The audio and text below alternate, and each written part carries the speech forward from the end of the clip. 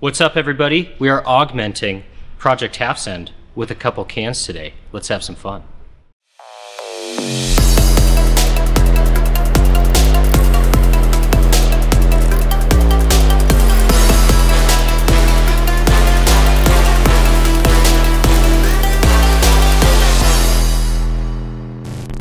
What's going on everybody? It's JP back with another video for Project Half Send. Today, we're not focusing on power or performance as much, or at least, you know, immediate performance increase.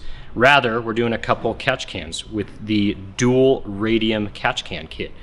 Uh, first of all, radium catch cans in particular, and really all radium components, uh, I like to say that they are the type of components that you buy a car because of, because you just want to put them on a car. They're so nice and, and really just so clean and neat looking. Um, so we love Radium parts, as do as does like everybody in the industry. Radium is just uh, you know a really popular company. They make stuff very very well. Anyway, uh, this is a this is one of the two catch cans we're going to put on today. And at the end of the day, why do you put on a catch can? Let's talk about that. Uh, something inside of an engine called blow by exists, and especially in a boosted application where there's really high cylinder pressure, uh, lots lots of pressure and lots of combustion material is getting pushed past the piston rings down into the crankcase. That needs to be it, it causes pressure and it also causes a bunch of you know uh, gases and things that aren't supposed to be in the crankcase to go into the crankcase. So a catch can helps intercept those things and keep the crankcase clean. Uh, and, and so it keeps your oil clean. It, it, it kind of gives you just a healthier motor, a healthier environment uh, for the intake system and the crankcase. Uh, the stock system recirculates that blow by back through the intake. That's what gums up all the uh, all the, the valves, especially on direct injection applications. We kind of talked about that in one video before with the spacers. We showed you what the back of our valves look like. That's because of all that blow by that gets recirculated back into the intake. Um, a catch can will intercept all that stuff. Really, ideally, it's best to put this on when you first buy a car. If you ever plan on modifying it or you care about the longevity of the engine and keeping performance maintained throughout the life of the car, especially on a DI car, again, this should be like maybe even the first mod you ever do. So that's how important it is um, to keeping your engine clean. So enough about that. We are going to install this bad boy on the car today. Radium also makes a PCV plate kit, which we'll show you as well. Uh, it is beautiful. It's really nice. Uh, it comes with its own check valve. You can use that by itself without a catch can. Uh, it probably maintains boost a little bit better than the factory check valve. Uh, and then it also works well with either a single catch can or even a dual catch can kit like we're going to do today. So I'm going to go into more of the details about where this stuff is going to fit, how it's going to work, you know, where the catch can is intercepting this stuff from, uh, and so on. So let's go ahead and pop open the hood and check it out.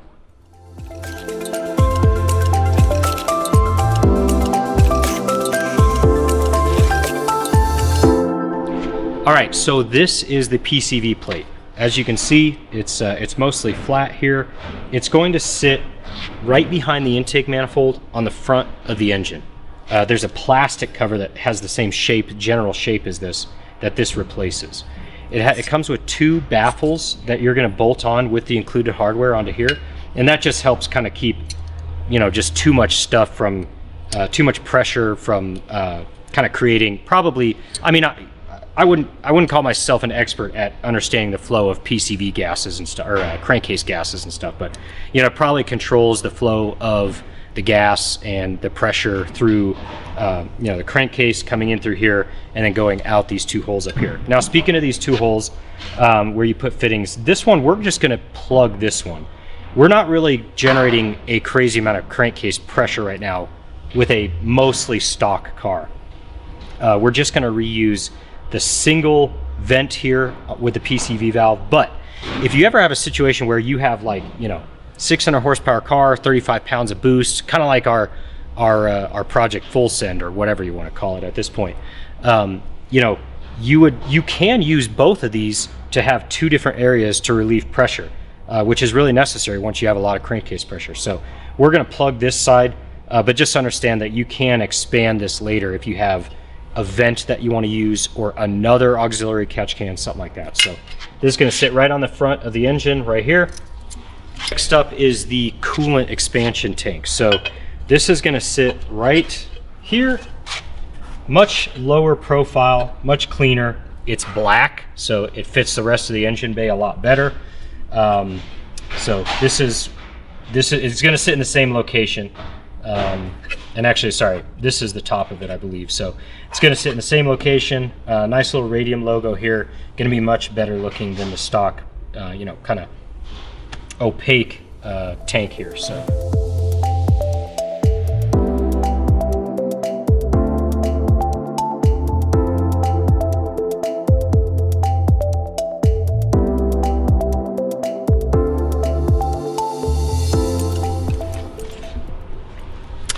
All right, so just to give you kind of a look inside here, this is where the PCV hose from the factory PCV plate plumbs back into the manifold. So we're still gonna retain that with the PCV plate, but we're gonna put a catch can in between the block and this. So all that stuff gumming up your valves, it's coming right from that, uh, from, from that hole right here.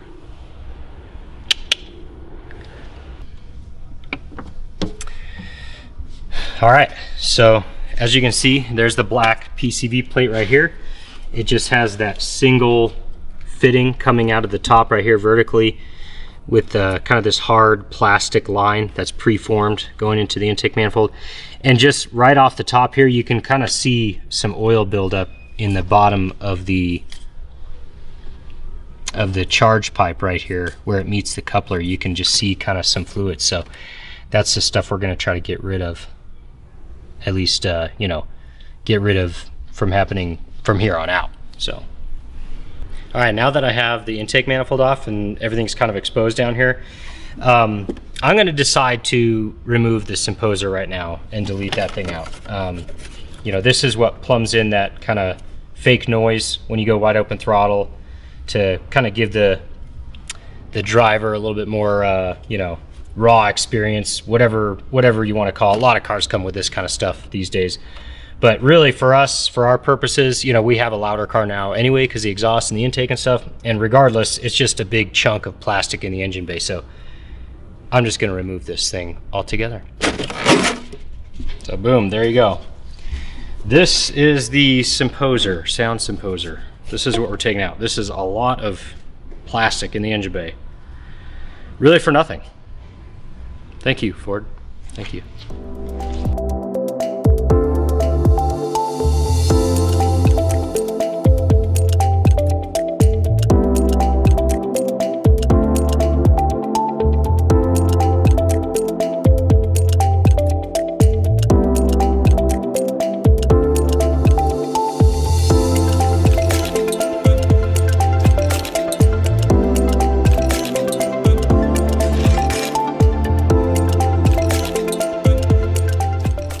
So this is the gasket that we took off of the factory PCV plate. We're gonna reuse this one. This car, as it sits, has 25K on it. Um, I mean, this gasket's in pretty good condition. It's a pretty robust gasket. So, you know, if you have a fairly low mileage car, you can probably reuse this. But we do sell these, so if you want one, you can go find one on the website. You know, those higher mileage cars, this will probably have been beat up a little bit more, maybe worn down a little bit more from the heat. Um, so get yourself a new one of these if you have a higher mileage car and you're doing this.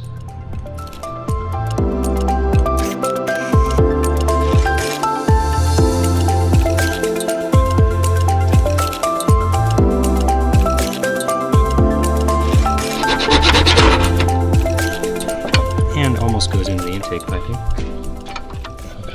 For the record, any future tuning problems will be blamed on that moment right there.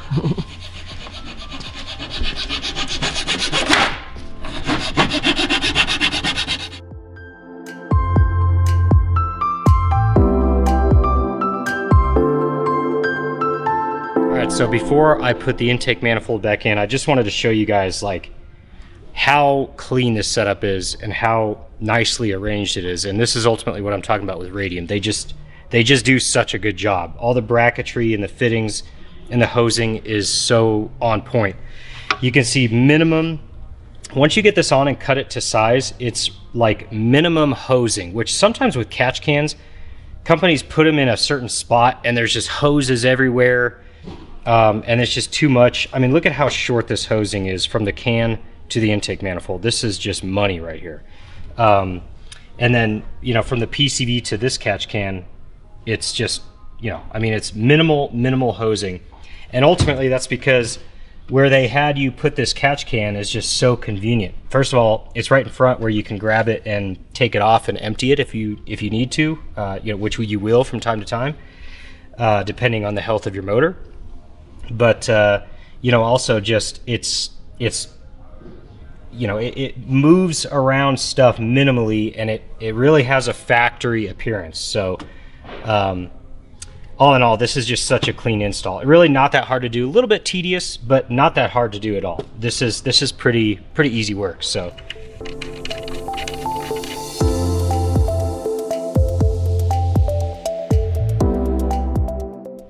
All right, we are all done with the front catch can, the PCV catch can. Beautiful fitment, really super flush and clean. We're gonna start working on the back now. So we'll start by taking the intake off.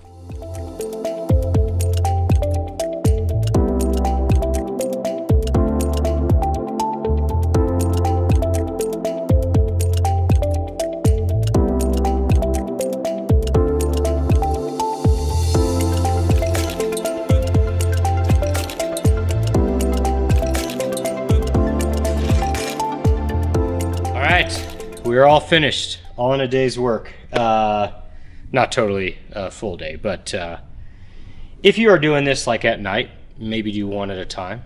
Um, always takes us a little bit longer because we're filming, but a uh, few hours in, got the job done. This stuff is so clean. It it just it's so clean. It looks so good. Uh, I've already kind of discussed with you the front PCV catch can. The rear can fits awesome too. The bracketing is perfect.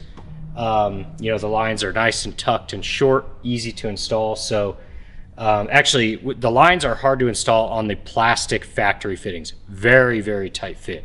You really have to oil them up and really push hard and twist them. We didn't even get them fully flush, you know, seated onto the fittings, but we got them good enough. Uh, but anyway, um, everything's plugged in, ready to go. So we are out of time for today for like installing and we were going to finish up with the coolant expansion tank. So we're going to do that tomorrow, wrap this video up. But, uh, but for now, the catch cans are all finished. Check them out. All right, the last little bit here, coolant reservoir, coolant expansion tank, whatever you want to call it. Gonna get this ugly turd looking thing out of here and uh, get the new one in. So let's start putting it together.